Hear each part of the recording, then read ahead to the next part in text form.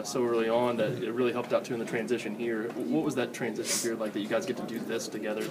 Um, it was great. You know, it wasn't as hard as I expected because, you know, coming in with him, we came in the gym every night, working out, playing one on one, and you know, we just trying to get better and making sure we come out here and be competitive every day.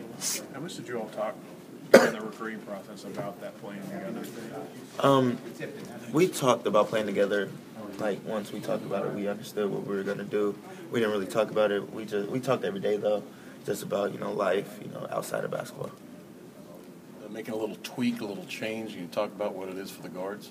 Um, he's just you know trying to help us draw fouls and not you know flail into the defenders when we get to the bucket, and you know basically just helping out, helping us all out a little bit, which has helped. It's changed a lot in practice, and you know we're actually doing great with the adjustment. Tyler, you guys are winning obviously by a lot. So how, how easy is it to accept the idea of you got to get better when you're beating everybody so badly? Um, I feel like we all understand we need to get better because offensively we know we're not where we need to be. I think our defense is very good, but you know we need to execute more. So that's what we're working on. How much better can you guys get offensively? A lot better. I don't think we're near where we can be.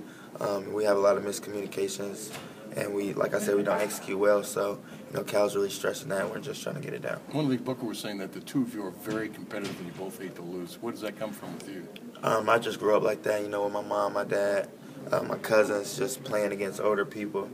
We always were competitive. I used to cry when I lost, so you know, it's just great to have you know my best friend the same way, and we're just you know we go out in the court and we just take it.